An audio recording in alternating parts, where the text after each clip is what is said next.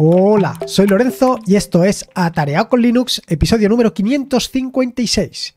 Bienvenido a mi rabbit hole o agujero o mariguera de conejo o como le he llamado finalmente, pozo sin fondo. Y es que le he estado dando muchas vueltas a este episodio del podcast. Bueno, básicamente a lo que es el título del episodio del podcast.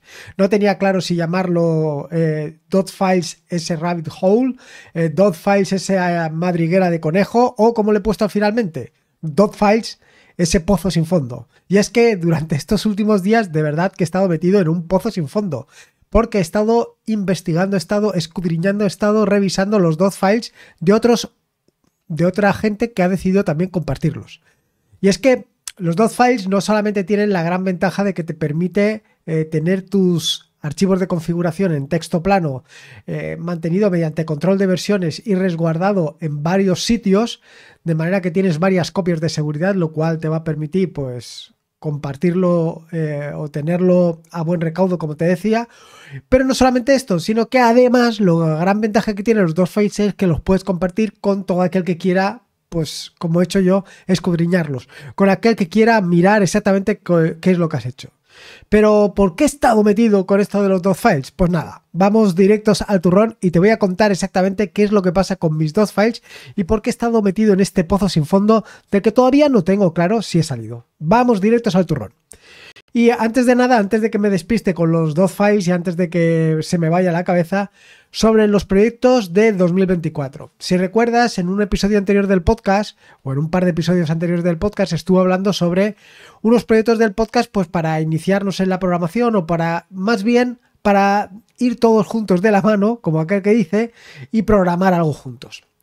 E hicimos unas votaciones y al final el primero que ha salido elegido ha sido eh, crear un asistente de Telegram. O sea, un bot de Telegram que es un asistente.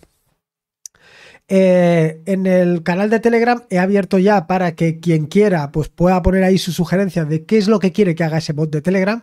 Por ahora han surgido dos ideas o dos o tres ideas referentes a pues realizar búsquedas en todo el contenido que hay en atareado.es para mostrarlo, pero bueno, ahí estoy abierto a sugerencias, ideas y comentarios para ir añadiendo. Estoy pensando en añadir o en, la página web, en atareado.es, añadir algún sitio donde pues podamos votar o alguna cosa así, no lo sé, ya veremos. Yo creo que lo más sencillo ahora mismo es que como todo está concentrado en el grupo de Telegram, simplemente vayamos poniendo ahí las ideas y iré creando un... Um, ¿Cómo se llama? Eh, no sé, una encuesta quizá para mostrar aquellas cosas que queremos implementar. O simplemente que con reacciones cada uno vaya diciendo lo que quiere. Ya veremos. Bueno, vamos a dejar un poquito eh, transcurra el tiempo, pero sobre todo lo más importante es que entres en el grupo de Atareado con Linux y vayas poniendo ahí lo que quieres que haga ese bot, ese bot de Telegram, para ir programándolo entre todos.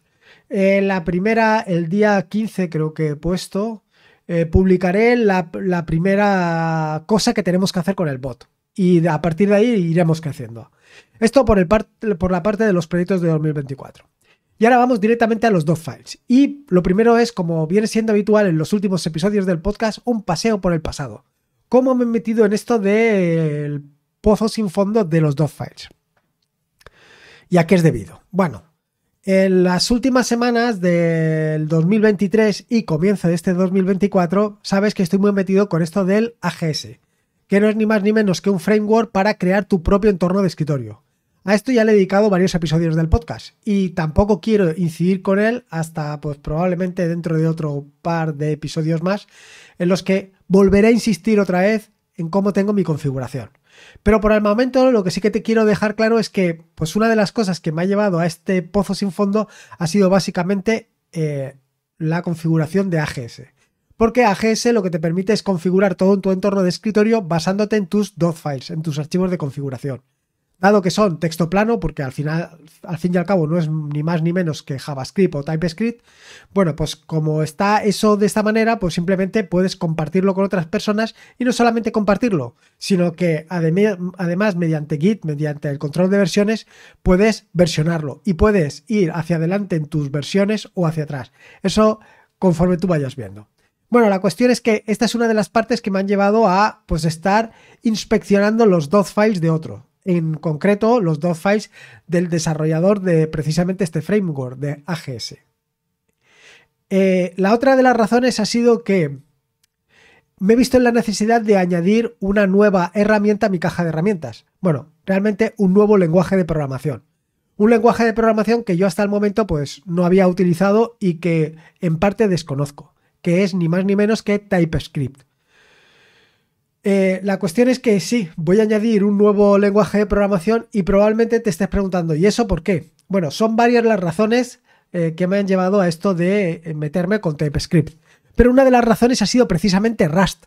Y te llamará la atención que ha sido Rust, pero sí, Rust lo que me ha permitido ha sido pues crear de una forma muy sencilla un backend y a partir de ese backend pues claro, evidentemente le falta un frontend. ¿Y de dónde saco mi frontend? Pues ahí es donde viene el asuntillo. Hasta el momento lo que he estado haciendo eran cosas pues relativamente sencillas y para ello he estado utilizando directamente HTML, CSS y Vanilla JavaScript. Pero claro, aquí me faltaba algo de chicha, me faltaba algo sólido. Porque si quiero hacer pues algunos desarrollos un poquito más serios, pues necesito un framework por detrás. Un, un framework que me permita trabajar con suficiente rapidez y no solamente con suficiente rapidez, sino con solidez sabiendo que lo que estoy haciendo pues tiene su sentido, no que esté modificando una cosa y por el otro lado esté estropeando otra. Y esto es lo que me ha dado pie a, pues en este 2024, por lo menos en las primeras semanas de 2024, las voy a dedicar a aprender TypeScript para posteriormente em, utilizar otras cosas. Básicamente estas son las dos razones principales. Eh, si recuerdas, uno de los proyectos de los que hablé eh, para este 2024 era precisamente un framework, bueno, mejor dicho, una página de inicio, un dashboard que contuviera todos los eh, servicios que tienes alojados en tu self-hosted. De esto te he hablado en alguna que otra ocasión. Te he nombrado algunos dashboards como pueden ser Homer, Dashi, Heimdall, Dashboard incluso, y otros tantos que puedes encontrar también en un enlace que te he dejado en las notas del podcast. Hay una barbaridad. Sin embargo, pues bueno, como yo soy como soy, eh, en un momento determinado decidí hacer el mío propio. Y decidí hacer el mío propio, que le llamé Board, y hasta ahí estuvo bien, eh, hasta que dije, bueno, pues vamos a incorporar algo más, ¿no? Vamos a añadir, además de em, simplemente la configuración implementada en un YAML, vamos a poder conectarnos al, al socket de Docker y saber exactamente qué es lo que está sucediendo.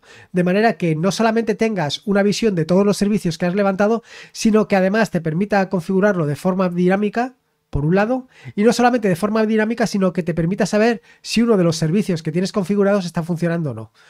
Bueno, esto me parecía algo realmente interesante. Y me puse a hacerlo.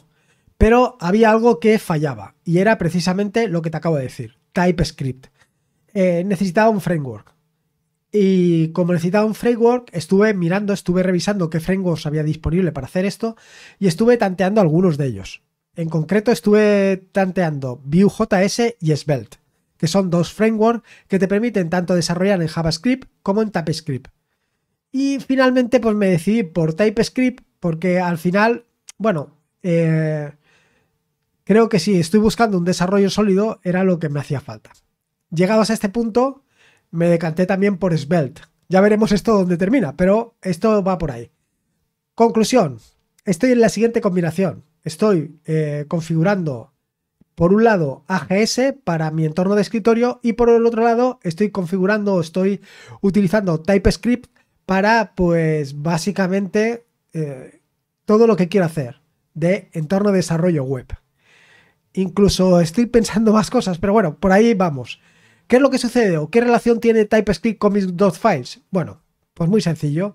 ¿Cómo voy a editar todos los archivos o cómo voy a editar en TypeScript?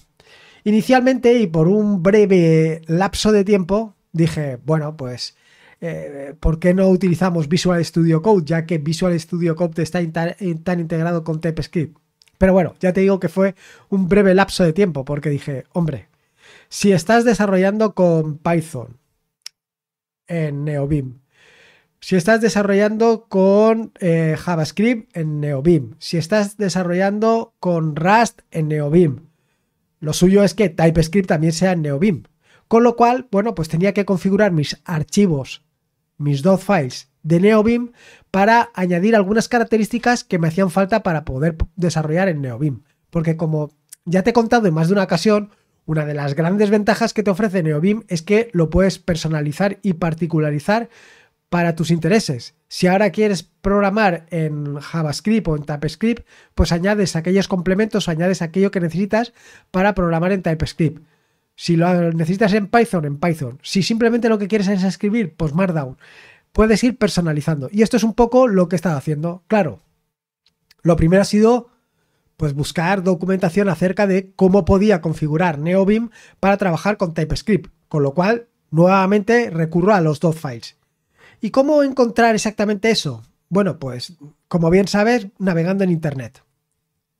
Llegados a este punto, uno de los grandes problemas con los que me he encontrado, y seguro que tú te has encontrado en más de una ocasión, es con Internet, básicamente. ¿Y por qué con Internet? Bueno, porque ¿cuál es la versión última, cuál es la versión nueva. En Internet hay de todo, puedes encontrar cualquier cosa, pero tiene un problema y es que no está versionado. Internet tenía que estar versionada, de manera que cuando tú caes en una página web, saber si está utilizando la configuración de NeoBeam de el 9.0 o 8.0 o el 0.5, la que sea. Porque sí, hay miles de configuraciones de NeoBeam, pero ¿cuál es la buena? NeoBeam en estos últimos años ha cambiado muchísimo. Ha evolucionado tanto que hay plugins que en eh, la versión 0.9 van, pero en la versión 0.4 no funcionan. Con lo cual han tenido que ir evolucionando. ¿Y si no ha evolucionado? Y no solamente esto, sino que hay muchos usuarios que en su momento decidieron compartir sus dot files, pero esos dot files han quedado eh, estancados, porque en un momento concreto, pues ese de usuario decidió abandonar los dos files o decidió directamente migrar a otro editor. Con lo cual, estás inspeccionando los dos files de otros. O estás inspeccionando la configuración de otro, pero que ya está completamente desactualizada.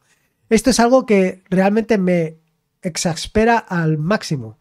De hecho, en un momento concreto decidí poner en la página web una nota diciendo, este artículo tiene más de tres años, así que ojito con lo que hace con ese artículo porque precisamente es eso.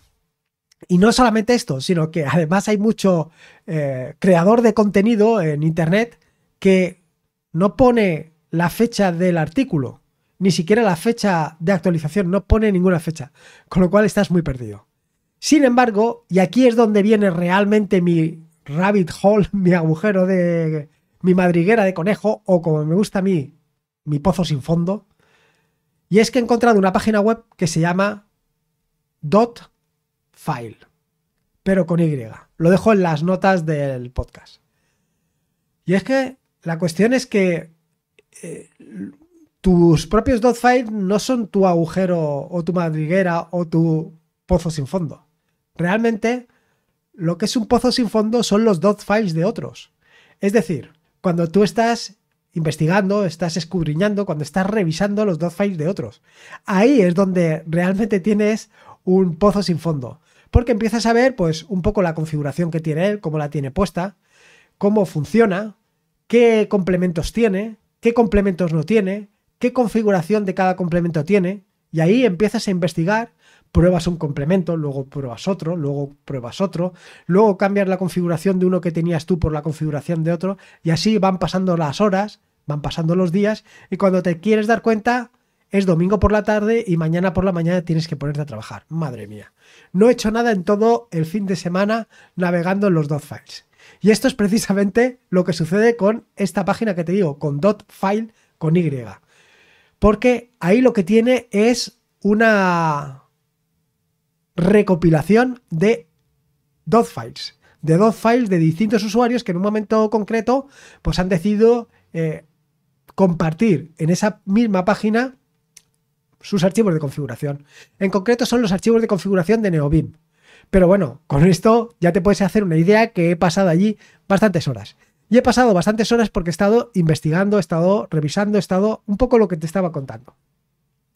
¿Qué tiene de interesante esta página? Esta página tiene de interesante dos cosas, o dos y media, por así decirlo. Una es que te permite navegar entre los archivos de configuración de otros usuarios con lo cual puedes meterte en los archivos de configuración que están allí todos agrupados de una manera relativamente sencilla y ver qué es lo que tiene.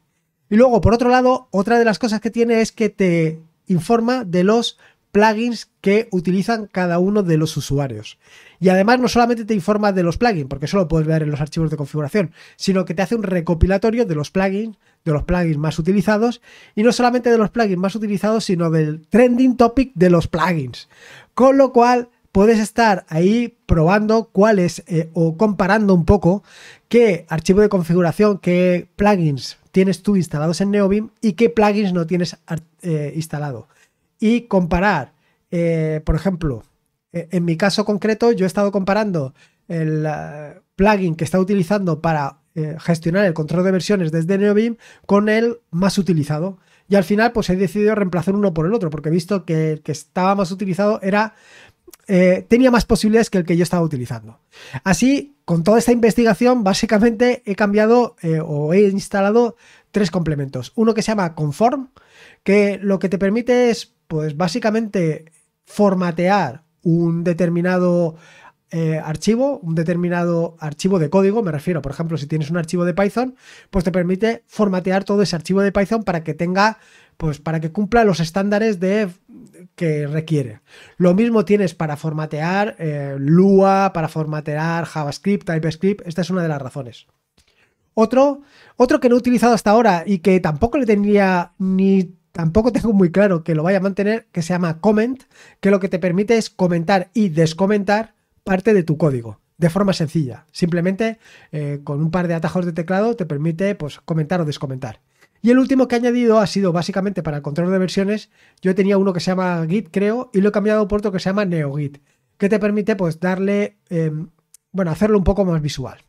Así que estos son los tres que eh, alguno lo he cambiado por otro y otro lo he instalado de nuevas pero son tres de los que he probado. Pero ya te digo que no he probado solamente tres, que ahí es donde viene la gracia. He estado pues como varias horas probando distintas configuraciones. Por supuesto que la mía también la vas a encontrar en .file con Y, porque he decidido añadirlo y compartirlo con otros para que otros también puedan disfrutarlo.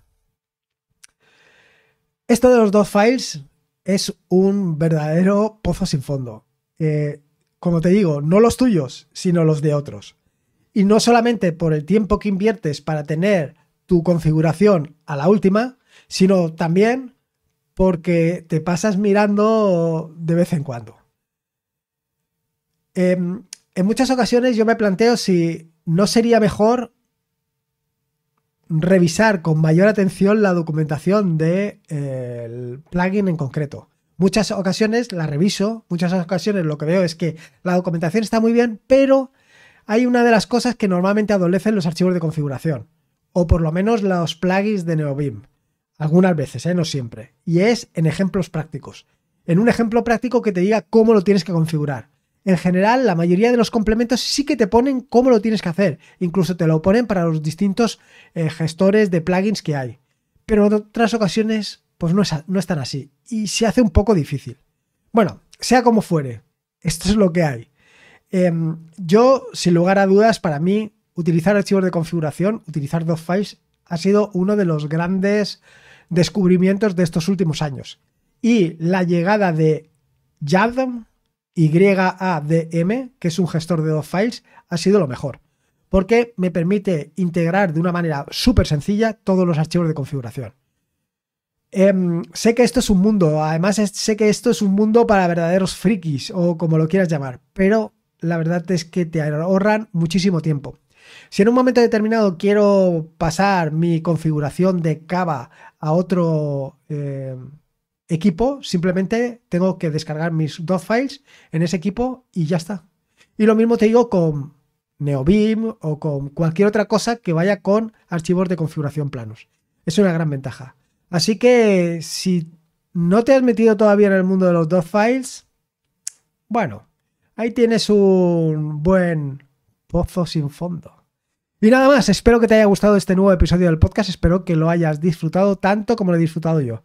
Recordarte que este es un podcast de la red de podcast de sospechosos habituales. Puedes participar en esta red de podcast en eh, Telegram, en WeTablet Info. Y por último, y como te digo siempre, recordarte que la vida son dos días y uno ya ha pasado, así que disfruta como si no hubiera mañana y si puede ser con Linux, NeoBeam y mi pozo sin fondo, mejor que mejor. Un saludo y nos escuchamos el próximo lunes. Hasta luego. Adiós.